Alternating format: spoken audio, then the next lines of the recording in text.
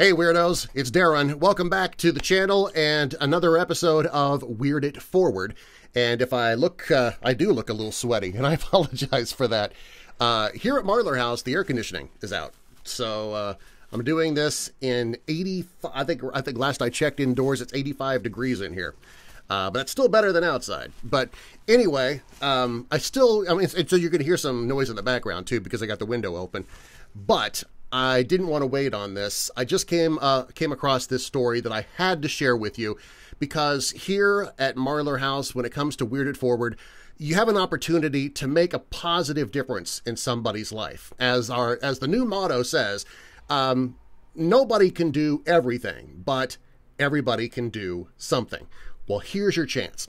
Let me show you this photo, and uh, let me ask you a question. Use Ricky is pictured on the left, okay? Richard is pictured on the right. Now, if you had to choose which one of these guys is a bad guy, which one do you think? Do you think they're the same guy? Well, a lot of people did, and that's part of the reason that we're coming to you today for Weird It Forward. So which one's the bad guy? Ricky on the left, Richard on the right. Well, let me give you the story, and it is unbelievable.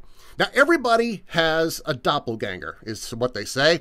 Luckily, we found his, says the lawyer for Richard Jones. That's the guy on the right. He has been freed from prison after serving, get this, 17 years for a crime he has always insisted that he didn't commit. Jones, he was released by a Kansas judge after lawyers presented evidence that there was another guy who bears an uncanny resemblance to him, and that witnesses could not tell the two of them apart. I mean, look at these guys. They do look like twins, don't they? Uh, there was never any physical evidence linking Richard to the 1999 robbery, and he was sent that he was sent to prison for. Now, uh, Jones' girlfriend, Richard's girlfriend, and family members, they backed up his alibi, but he was convicted anyway because witnesses, including the robbery victim, identified him as the guy. Well, the victim testified last week that uh, she can no longer be certain that Richard was the robber.